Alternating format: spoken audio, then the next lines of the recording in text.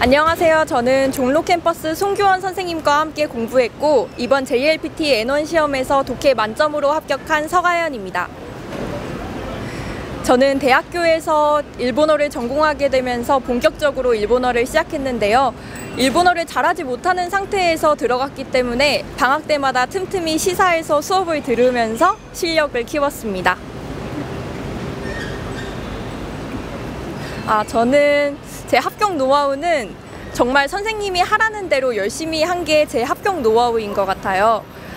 저는 독해 만점으로 합격을 했지만 독해를 원래부터 잘하지는 않았기 때문에 정말 선생님이 하라는 대로 제대로 했던 것이 제 합격 노하우인 것 같습니다. 아, 송규원 선생님 수업 좋은 점이 진짜 너무 많은데요. 일단 송규원 선생님의 닉네임이 페이스메이커시잖아요. 정말 그 닉네임에 걸맞게 항상 학생들한테 관심을 가져주시고 늘 긍정적인 말로 힘을 주세요.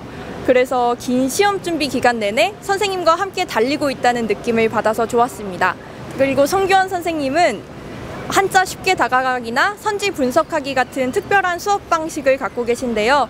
그 수업 방식 덕분에 정말 일본어를 즐겁게 배울 수 있었고 또 실력도 정말 많이 늘었습니다. N1을 합격하기 위해서 계속 공부해 오다 보니까 이제는 진짜 일본어 공부가 좀 재밌어지더라고요. 그래서 이제는 일본 드라마나 책을 보면서 좀 더 재밌게 일본어를 공부해 볼 생각이고 또 회화도 잘하고 싶은 마음이 생겨서 회화 공부도 할 생각입니다.